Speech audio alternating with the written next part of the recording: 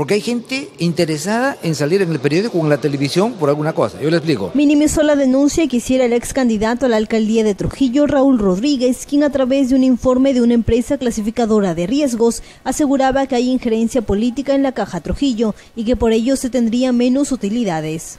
Ante eso, el regidor Dante Chávez reveló que después de 20 años se modificó el estatuto de la Caja Trujillo, lo que permitirá la incorporación de nuevos socios estratégicos que aporten con capitales. Hemos establecido que Caja Trujillo puede emitir acciones para que algún inversionista, nacional o internacional, pero del sistema financiero, de preferentemente internacional, así como el Banco Interamericano de Desarrollo, de ese tipo de instituciones que hacen ayuda social, pudieran, si gustan, hacer una inyección de capital, o sea, entra como, como eh, inversionista en Caja Trujillo y nos trae todos sus conocimientos, todo su proceso, lo que se llama el know-how, y gana pues la Caja Trujillo en todo eso y pero con un tope de hasta el 30%. Asegura que no se venderá las acciones de la propia entidad financiera, más bien se podrían emitir nuevas para los empresarios. También se descartó que la Caja Trujillo llegue a descender de nivel, pues al final de año se piensa recaudar 30 millones de soles en utilidades. Pero bien claro, no, no se va a vender acciones, no, sino se emiten nuevas